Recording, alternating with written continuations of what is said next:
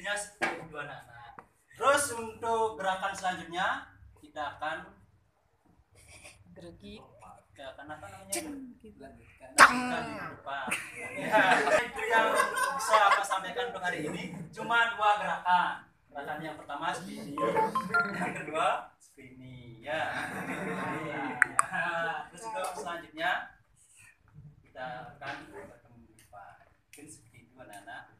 Ada yang bertanya? Nggak ada. Berarti sudah paham. Baik, yang lain bertanya? Pak Toto. Baik, masih seger? Seger. Pelajaran seni rupa. Nah, minggu yang lalu Bapak sudah jelaskan tentang menggambar bentuk itu ada dua, yaitu dua dimensi dan visi. Nah, mana yang termasuk dua dimensi anak-anak? Coba yang gambar dua dimensi, apakah anak-anak bisa peragakan gambarnya? Tadi? Ah, betul sekali seperti ibu ibu.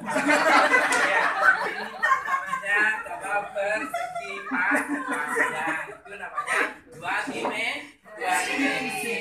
Nah, kemudian Bapak lagi tanyakan tentang gambar tiga dimensi.